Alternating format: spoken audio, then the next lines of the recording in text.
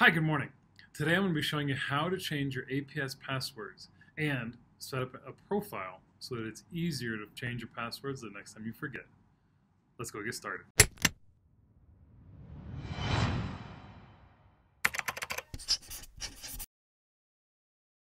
So we're going to go and reset some passwords. First thing you want to do is open Google Chrome on your device. If you're using a Chromebook, you'll just open Chrome right away. It's no problem. We're going to go to pwreset.aps.edu. pwreset for password reset.aps.edu. If you know your current username and password and it's just time for you to change your password, we're going to click on change password. You will put in your username for students is going to be your 9800 number, or some of you still have 9701 or 9700, and you'll put in your current password.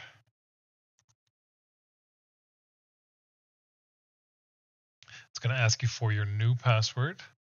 You'll want to type the new password once, twice, and then hit submit down here at the bottom. So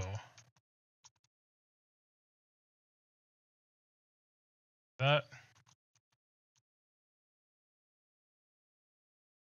Make sure you type exactly the same thing in the top that you type in the bottom. These two boxes have to match.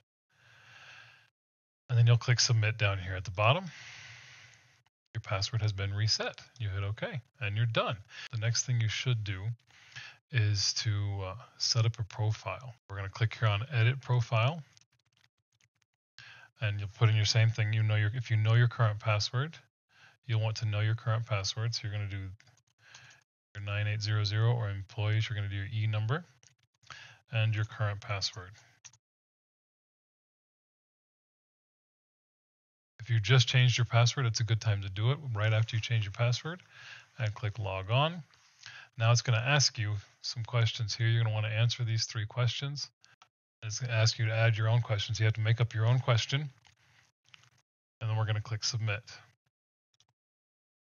Successfully updated your profile. Now what that does for you is the next time you come back and you click and you don't know your password, if you've forgotten it completely, you're going to go to pwreset.aps.edu. I'll do that all again. So I've come in, I've forgotten my password. I go to pwreset.aps.edu and I'm going to click forgot password. It's going to ask me for my username, which if it's your 9-8 number, you should know. Then it's going to ask me those three questions. You type you type the, the, the answers to those three questions, and it'll let you reset your password. But you have to know these questions and the answers to them. All right, hope that helps.